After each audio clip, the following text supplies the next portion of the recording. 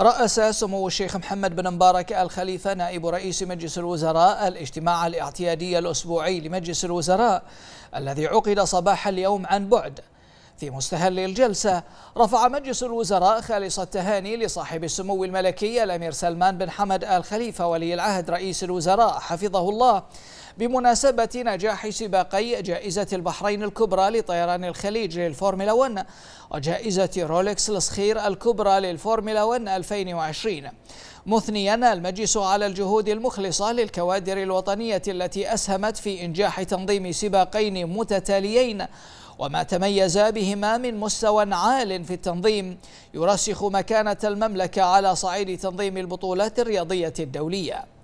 كما أشاد مجلس الوزراء بنجاح حوار المنامة وما يتميز به هذا الحدث من مناقشات مثمرة لأبرز التحديات التي تواجه المنطقة والعالم وتسهم في تعزيز أمن واستقرار المنطقة.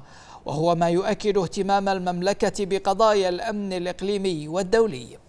ورحب المجلس ببدء جلسات الحوار الاستراتيجي الأول بين مملكة البحرين والولايات المتحدة الأمريكية الذي يسهم في مواصلة تعزيز الشراكة الاستراتيجية بين البلدين الصديقين والدفع بها نحو أفق أوسع من العمل والتنسيق المشترك. وبمناسبة الاحتفال باليوم العالمي لمكافحة الفساد أكد مجلس الوزراء على أهمية الجهود القائمة لمواصلة تعزيز النزاهة ومكافحة الفساد من خلال تطوير الأجهزة الرقابية وسن وتحديث التشريعات بما يخدم التطلعات المنشودة الرامية إلى ترسيخ نهج الشفافية والمحاسبة.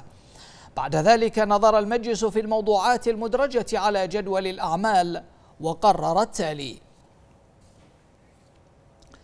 أولا الموافقة على المذكرات التالية.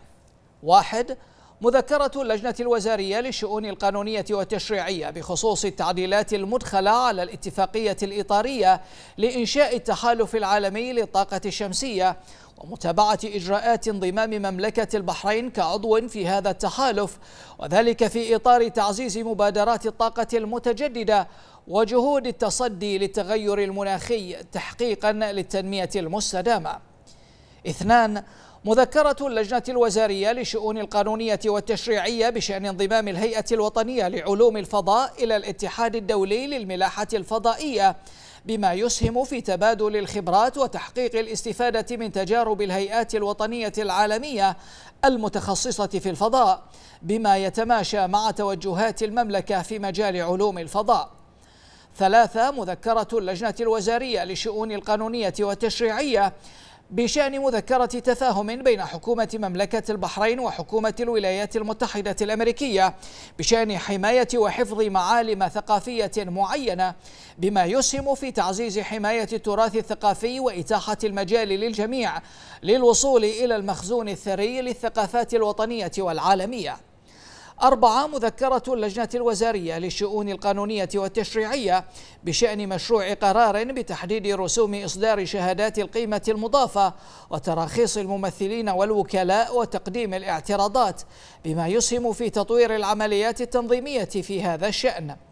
خمسة مذكرة اللجنة الوزارية للشؤون المالية والاقتصادية والتوازن المالي بشأن توسعة مركز البلاد القديم الصحي بتبرع من جمعية خيرية خاصة من منطلق الشراكة المجتمعية لخدمة القطاع الصحي بمملكة البحرين.